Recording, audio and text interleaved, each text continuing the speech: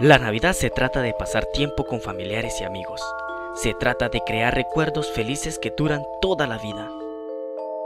Que la cercanía de los amigos, la comodidad del hogar y la unidad de nuestras naciones renueven sus espíritus en esta temporada festiva.